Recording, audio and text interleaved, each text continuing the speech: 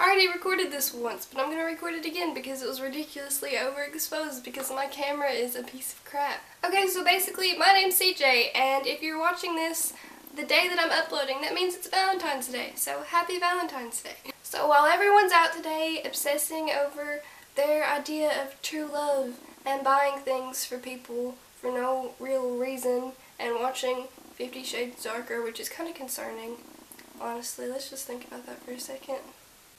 No offense if you like it, I just don't understand. so while love is a fantastic thing to experience, today I wanted to talk about something a little more important, and that's yourself. And no, it's not just because I'm bitter about my Valentine being a dog.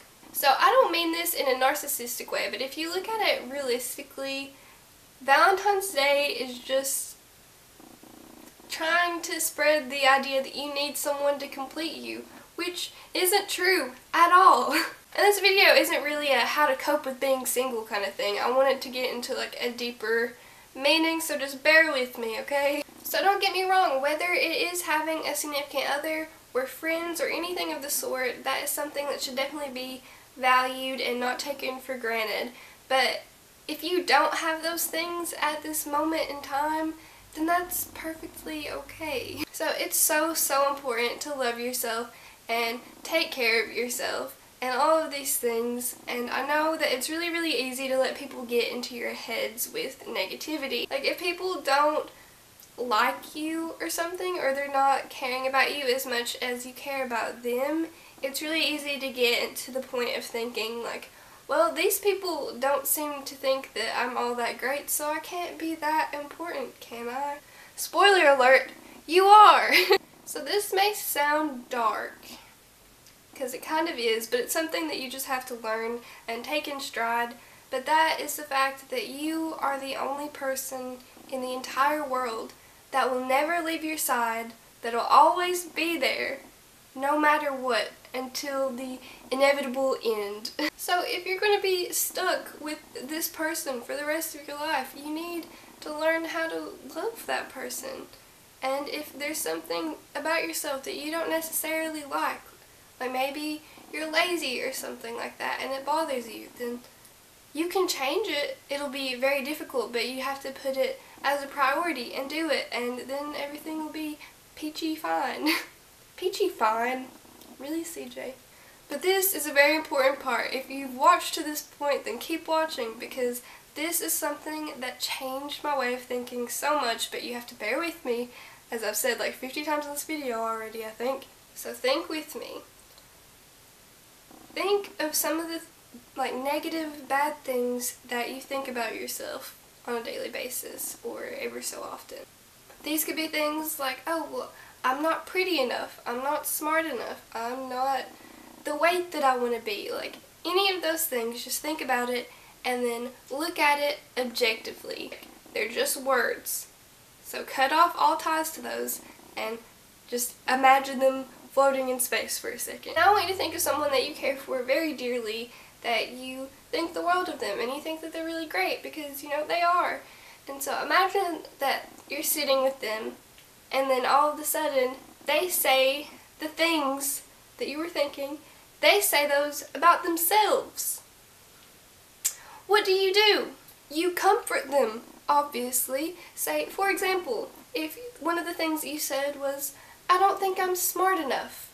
Imagine that your friend said that, and what would you do? You would obviously be like, that's ridiculous, I think you're brilliant. But oh, you're doing really bad in math and that's making you feel bad about yourself? Well, I will help you study and we're going to figure this out and we'll handle it and get it under control. And then that's just another thing that you will master it eventually. It'll take a lot of work, but eventually you can do it because I believe in you. That's just what you would say if you're a good friend, which I hope you are. So, why don't you say that to yourself? I think I saw something kind of similar to it on Tumblr, just like a really quick text post. But I've never really like heard people talk about this a lot and I don't know if I'm just not looking in the right places but that changed my life so much because back in the day, believe it or not, I used to not really think that great about myself. And once I started adopting that method as like treating your insecurities as like a friend that needs a little help, then it just changed everything. Like if you're starting to feel anxious, then think of it as like that little friend inside of you that just needs to be comforted and loved and do stuff for them that they need. For example, the other day I was really sick and I felt terrible and I was just laying in bed feeling sorry for myself and just complaining because I didn't have my mom here to, to take care of me like she used to when I was little. So then I was like, wait, if like my best friend was sick and like had nobody to take care of her, like you know I would be going and making that bitch soup. I would be like taking care of her, putting like cold washcloths on her head, like so I did that for myself and it made me feel a lot better. I just had like a little pamper night and that is what made me start feeling better because it's scientifically proven if you're thinking stressful bad thoughts all the time then it's going to impact other parts of your body like your health and like your hair can fall out like just so much and acne stress acne is terrible so you need to just like be very cautious. Like even if you're not thinking bad things about yourself per se, you need to go ahead and like start preparing for things. Like, oh, my best friend's gonna need to eat in a few days and she doesn't have like any groceries. I better go pick those up for her. Just like love yourself. Please, please, please love yourself because I promise that there are plenty of things to love no matter who you are. But on to my next point if you are depending on other people for that reassurance and that happiness and that just stability of everything, then ultimately you're going to be let down at some point. Even if it's not intentional, like your boyfriend or girlfriend or someone might be, you know, not able to talk to you for a few days. Like something's going on and they have their own problems going on and you might have something happen to where you feel really alone and like you need to talk to someone, but they're not there. So what are you, like if you don't prepare yourself for these things, then you're just going to feel really, really bad. But I'm not saying like with the whole like you'll get let down eventually that your best friend is going to stab you in the back and betray you. Obviously that's not the case.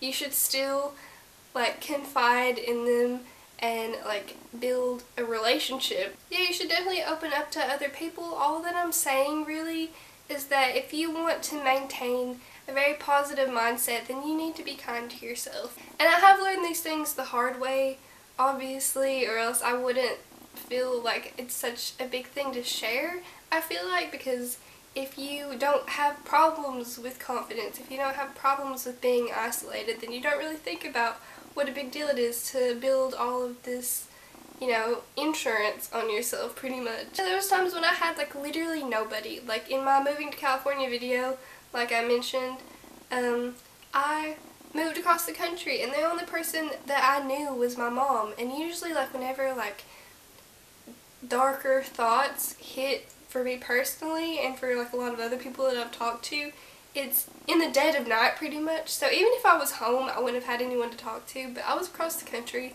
it was like a three hour time difference and so it was even later from where I was from. I couldn't call anybody at home and my mom was pretty sick at the time and so I, I didn't want to bother her with this. If you want to like hear more about that story and how I overcame that then go check out that video.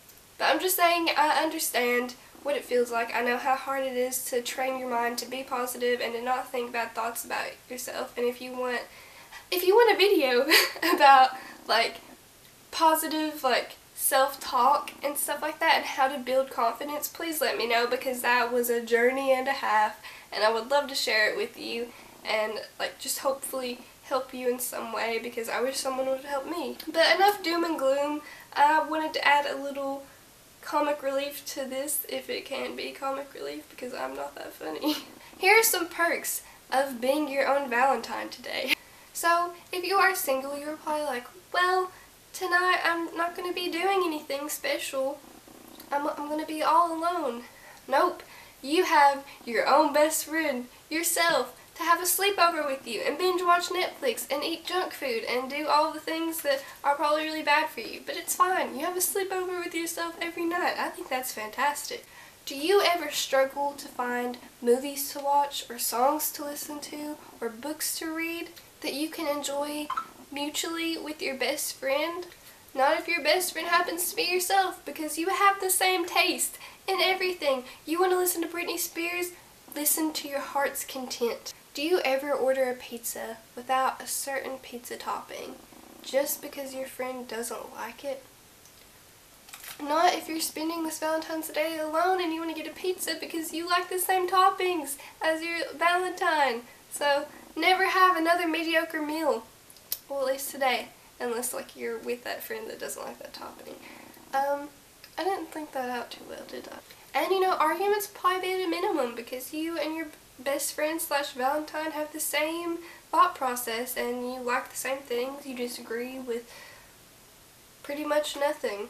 Unless you're like me and you just have a constant internal argument with yourself about things that make no sense. Well, that's a great note to end on. I really hope this video was beneficial to you in some way, shape, or form, whether it was just entertainment listening to me thinking that I'm a motivational speaker or something like that, which I know that I'm obviously not. And I hope that I could word this to where you understand where I'm coming from because, I don't know, this was just very important that, to me at least, that I make this. Because even if it's just like two people watch this, if it helped you in some way, then that means the world to me. But be sure to like this video if you did enjoy it, and if I did help you, that's really nice, and I'm glad. And my mission for you is to go in the comment section down below and comment your favorite thing about yourself. Because although I would love to hear it, because I think you guys are 100% lovely, and so I would like to hear that, you should also, you know, think about it. And so I'm making you start thinking about it, which is cool. and please subscribe to me if you haven't already because that would make my day. And as always, I will see you in the next video.